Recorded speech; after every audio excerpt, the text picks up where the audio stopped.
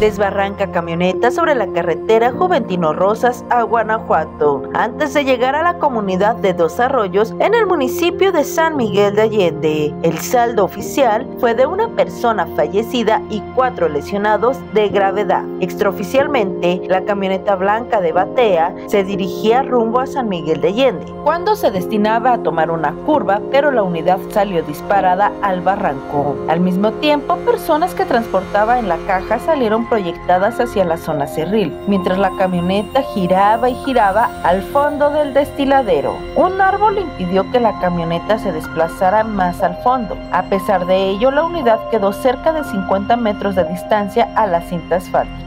Cabe mencionar que al cierre de información aún se desconoce la identidad oficial de la persona que falleció. Sin embargo, se trata de un hombre de aproximadamente 50 años. Para el sistema de noticias de TV Independencia, con imágenes de Juan Pablo Fiscal informó Gladys Padrón.